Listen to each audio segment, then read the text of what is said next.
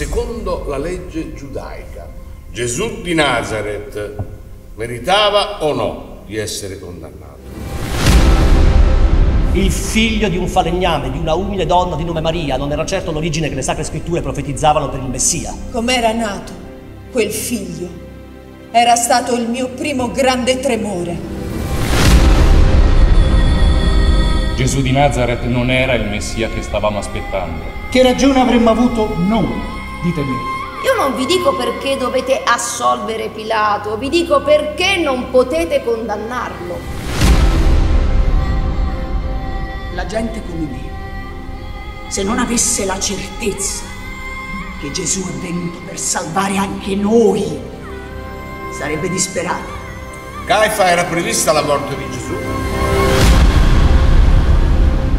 Gesù di Nazareth si è voluto far credere il Messia. Io sono colui che aspettate.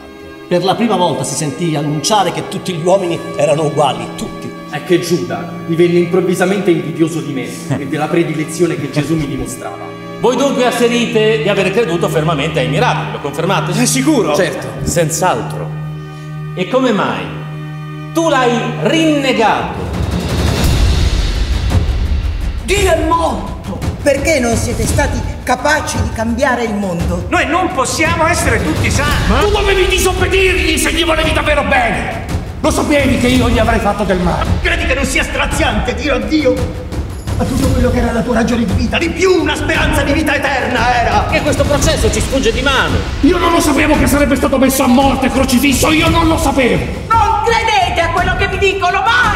Perché non moriste tutti con lui, per lui? Cercavamo qualcuno che ci aiutasse a farlo tacere, a far scomparire Gesù.